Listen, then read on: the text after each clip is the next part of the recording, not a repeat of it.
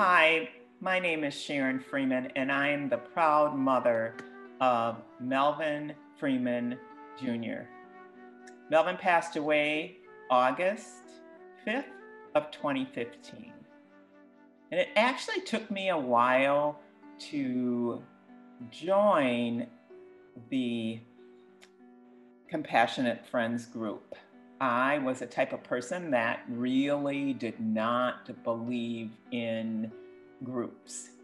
And so I didn't want to join the group. I'm, i was also the kind of person that said, I can do this on my own. I'm tough. I'm in control. I can do this without a support group. And um, as I always say, how well did that work for me? Not very well at all. Melvin had, Melvin Jr.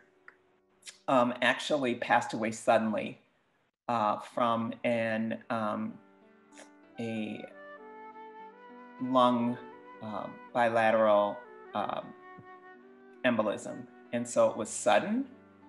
And um, for somebody who's in control and thinks they can plan everything and take care of everything and protect everyone, um, August 5th of 2015 was the worst day in my life. But finding compassionate friends was one of the best days in my life. I remember walking in, and I walked in, and it was actually a snowy day, and there were two of us. And we walked in, and, and walking in, remember, I thought I could do this on my own walking in with one other person and putting and going in and actually the because it was a snowy day it was canceled. Then i thought i'm never coming back again.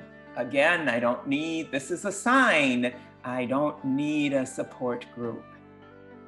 So i walked in you know again and and haven't stopped um, going. I have met people who get it, as I call it, who understand the um, losing a uh, losing a child um, and being able to laugh and cry with you. Not that you ever wanted to find a support group that had people that were like you, but this group, in regards to helping you find your joy, understanding when you cried, what you're crying for, sometimes not even saying anything, just being there, or sometimes, as I say, saying something and it comforts someone else.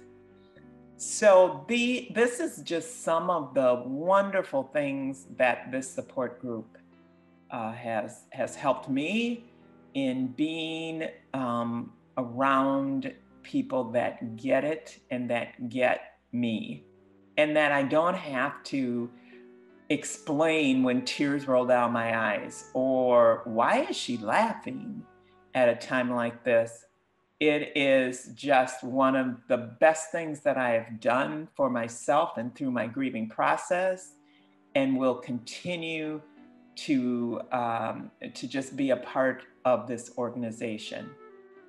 So, thank you, compassionate friends, for helping me find my joy and my peace when I never thought I could.